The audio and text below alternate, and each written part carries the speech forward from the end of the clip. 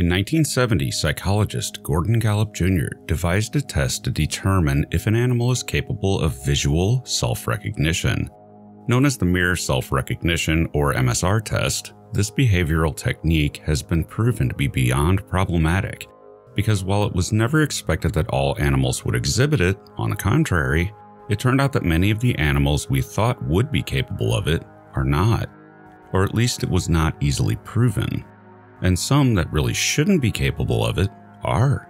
Before we get to that, however, there is a known bias in this test. Animals may not be visually self aware, or express it if they are, they may do it in ways that the mirror test can't measure. A good example here would be birdsong. A bird may not be visually self aware, but it may be able to distinguish its own song from that of other members of its species. This actually creates somewhat of a dilemma in the field of artificial intelligence. What exactly constitutes self awareness to a machine? More on that in a bit. The mirror test has been done on a great many species of animals, and some of the results were surprising. How it works is this the animal is marked with a sticker or red dot of paint in an area of the body that they normally cannot see, such as their forehead. When presented with a mirror, if the animal notices the mark and reacts, the thinking goes that the animal is aware that it's looking at itself and something isn't quite right with the image. Very few species pass, yet the ones that do are weird. Perhaps unsurprisingly, the great apes pass it, as do the dolphins and orcas. You'd think the elephants would be on the list, but it's only ever been seen with one single Asiatic elephant. The rest subjected to the test did not seem to, which might simply mean that one elephant was vain and the rest didn't put much stock in their appearance. Other primates often do not pass, however, such as certain species of baboon which fail it. Yet get this oceanic manta rays seem to pass. Giant pandas fail, yet magpie birds pass. Perhaps the strangest is a species of fish known as the cleaner wrasse. This is a strange one, it's a fish that lives in cleaning symbiosis with predatory fish. They groom them, basically. What happens is what's referred to as client fish know where the cleaner wrasses are congregating and they deliberately go there to get cleaned. Not unlike driving to a car wash to remove parasites. Predatory fish have been observed to open their mouths and gills so that the cleaner fish can get access. In four hours of activity, a single cleaner wrasse can cover 2,000 client fish.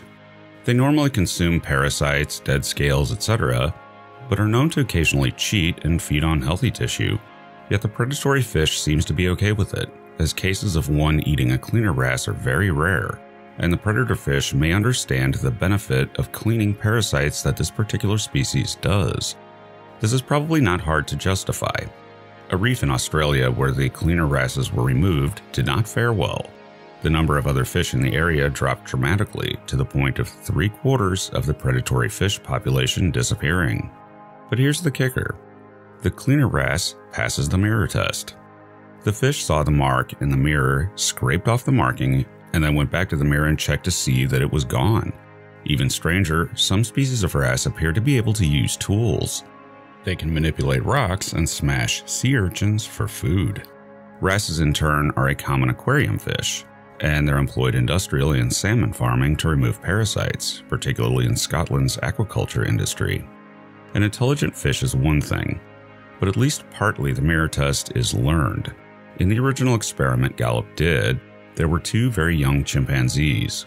It was assumed that they had never seen a mirror before, when shown the reflection, they reacted as though they were seeing another chimp and made threatening gestures. But they soon figured it out and started using it for grooming areas that were not visible to them without the mirror, and even making faces at themselves, and one was noted to blow bubbles in front of the mirror. The studies continued, and critics of the test noted that it may be that the animal doesn't realize that it's seeing its reflection, but that it's seeing some bizarre entity that it has control of or it sees the reflection as another animal and tries to help out because it has a red dot that shouldn't be there.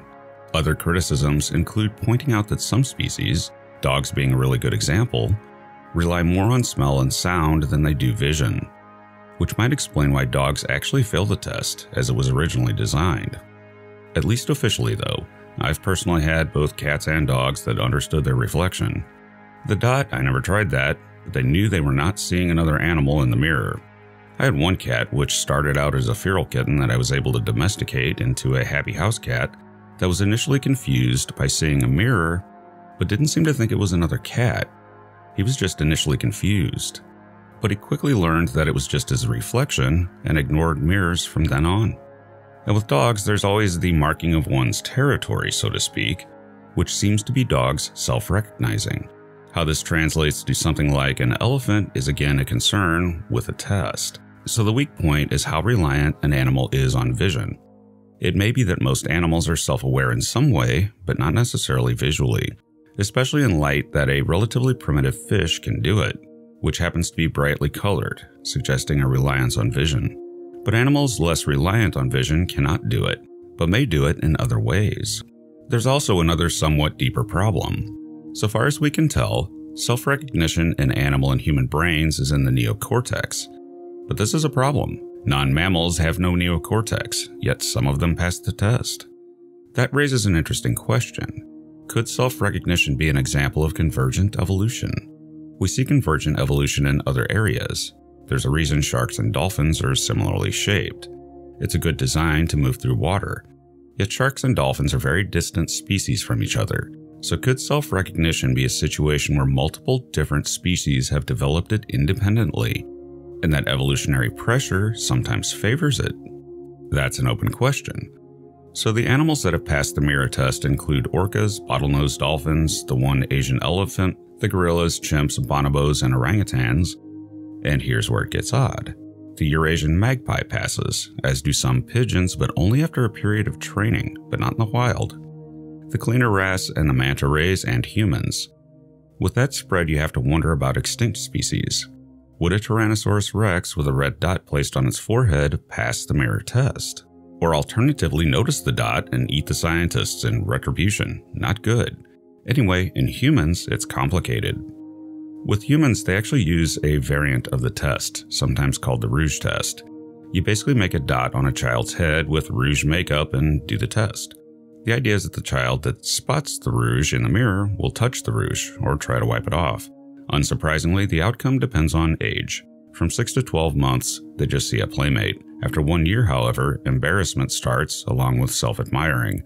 By 18 months, they typically start to know that they're looking at their reflection, and after 24 months, it's the norm. But there's another dimension to the mirror test that will become increasingly important in the coming years. Can a robot or AI pass it? The answer is yes, but conditionally. It's important to note that ultimately the mirror test is a self awareness test. But ultimately, what you're trying to determine is one's ability to recognize a change in the reflection. But it's broader than that, at least in humans. It may implicate the ability to assess actions, emotions, and thoughts against an individual's own standards. This comes with it the implication of how one comes across to others, or at least that's one assessment within psychology. This is different from animal tests where you're just trying to see what possesses heightened intelligence, or at least that which you can recognize by an animal's interaction with a mirror.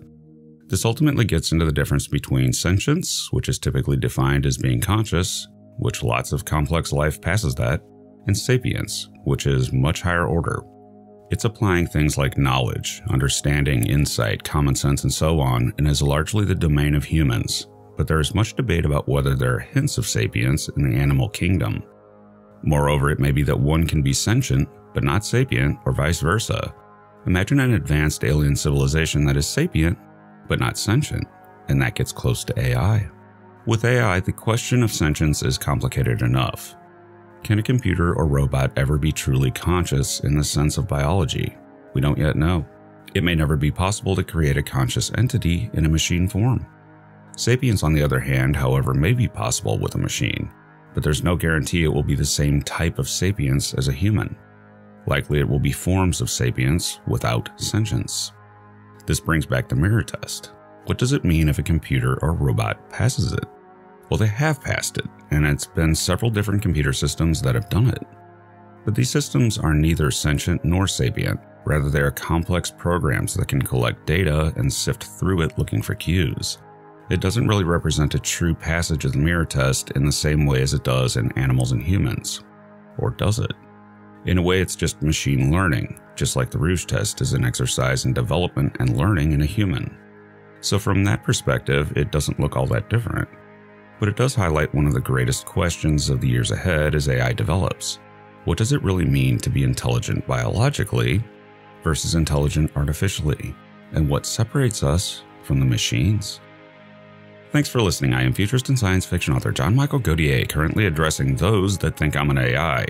It's an emphatic no, and those that think I'm an alien will disagree vehemently. And be sure to check out my books at your favorite online book retailer and subscribe to my channels for regular, in depth explorations into the interesting, weird, and unknown aspects of this amazing universe in which we live.